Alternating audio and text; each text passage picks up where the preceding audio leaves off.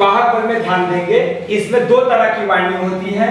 पहला जो वाइंडिंग है, उसको बोलते हैं लैप वाइंडिंग लैप वाइंडिंग बोलते हैं, और लैप वाइंडिंग का जो हिंदी होता है, उसको बोलते हैं पास सेकंड जो होता है वाइंडिंग उसको बोलते हैं वेव वाइंडिंग वेव वाइंडिंग और वेव वाइंडिंग की जो हिंदी होती है, वो होती है आपकी तरंग वाइंडिंग तरंग वाइंडिंग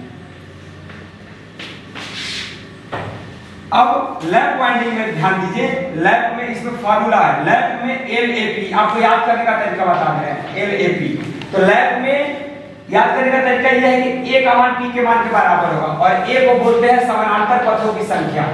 समानांतर पथों की संख्या और पी को बोलते हैं पोलों की संख्या। तो ए का मान पी के मान के बराबर हो जाएगा। ठीक है?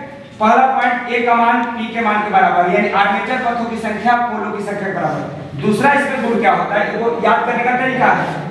लैप बोल रहे हैं लिप याद रखिए आई आना यानी आई का आई जो होगा, यानी करंट का जो मान होगा, वो हो जाता है ऊंच। और वोल्टेज का मान जो होता है, वो हो जाता है निम्न। अब वेव में आइए, इसी बात को लेकर के।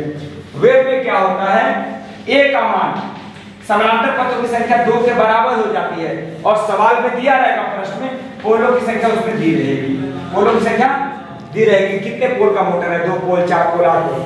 और सेकंड पॉइंट याद रखेंगे, जो इसमें करंट उच्च हुआ है, इसमें करंट आपका निम्न हो जाएगा और वोल्टेज आपका